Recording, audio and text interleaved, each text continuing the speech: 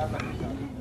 La scuola dell'ONU attaccata mercoledì nella striscia di Gaza è stata colpita con cinque cannonate dall'artiglieria israeliana. È la ricostruzione dell'UNRWA, l'agenzia delle Nazioni Unite che si occupa dei rifugiati palestinesi. 23 i morti e la condanna è unanime, arriva da Washington, Parigi e dalla Croce Rossa Internazionale, come spiega il capo delle operazioni in Medio Oriente.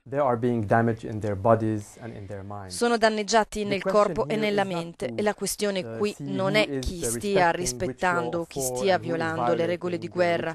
Siamo davanti a un'enorme emergenza umanitaria. Chiediamo che la distruzione e le uccisioni finiscano subito.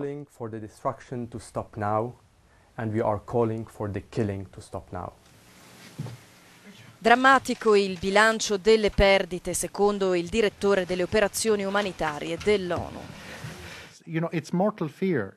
Um, è una paura mortale ed è giustificata perché il numero delle vittime continua ad aumentare. Uh, Vi abbiamo già comunicato nei giorni scorsi che viene ucciso un bambino all'ora. Il segretario generale dell'ONU Ban Ki-moon, che si trova in Costa Rica, ha condannato fermamente l'attacco definendolo vergognoso e ribadito che tutte le prove indicano che a bombardare è stata l'artiglieria israeliana. Decine i costaricani scesi in piazza per mostrare a Ban Ki-moon il loro sostegno alla Palestina.